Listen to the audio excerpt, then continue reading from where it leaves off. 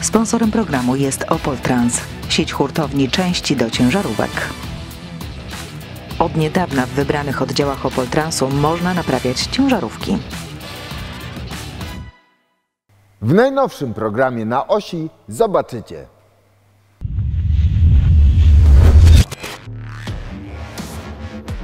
Słów kilka o elementach tuningu. Kolejną relację z pokazów e-robocze show.